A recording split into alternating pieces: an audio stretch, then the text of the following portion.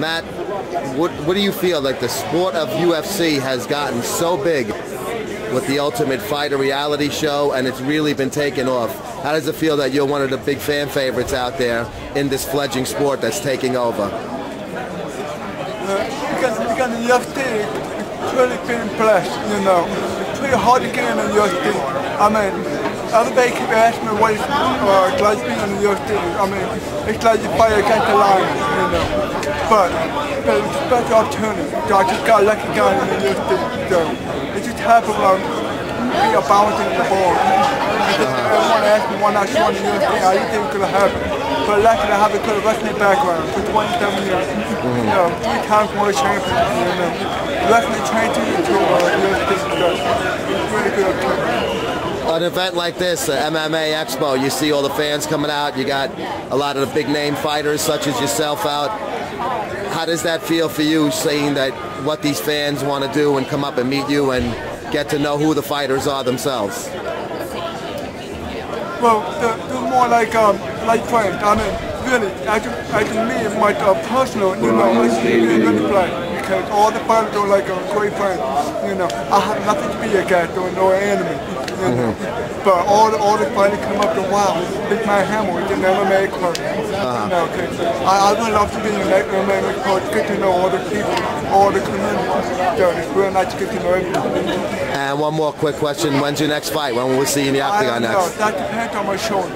Okay. Yeah, so I mean. It was I- hurting that last I- fight. Yeah. Yeah. I win. How is it feeling? Uh, right now I'm still a little pain, you know, so, but it just, it just takes some time to recover. Yeah, that was a tough injury to wait for that fight to end that night. Yeah, yeah, I just fought with one arm, so I did the best I could. Uh-huh. So, Great. Don't worry, I'll be back. Hi, I'm Katie. And I'm Kim. And we're at MMA Expo.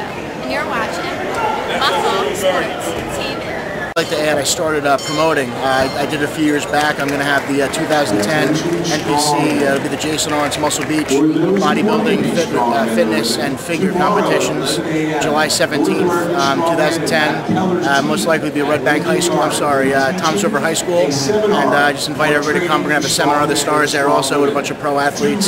You know, giving some, answering some Q and A's, training tips, dieting tips for you know everybody involved with fitness, figure, and, and bodybuilding. Getting into the promotion uh, part of the business now. You're going to see it from the other side Yeah, now, I'm right? starting to branch out and look more longevity of what I could get out of the sport and, uh, where, where I could take it, you know, with, with my name and hopefully uh, bring my following into wherever I go. You got a website for it you want to give out? Yeah, actually, I have projasonlawrence.com and my website will most likely be uh, the, mus- the muscle Be- musclebeach.com, New Jersey musclebeach.com, but it's not set yet. They'll be linked together though Yeah, from. Jason on ProJasonArntz.com? Yes. Okay, great.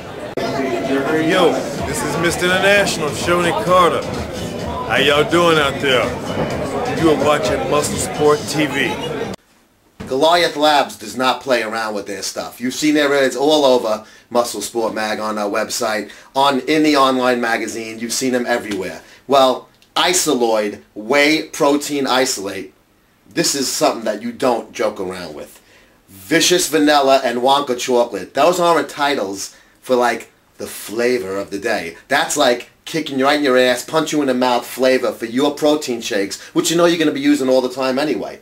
27 grams of protein per one scoop. Mount serving, one scoop.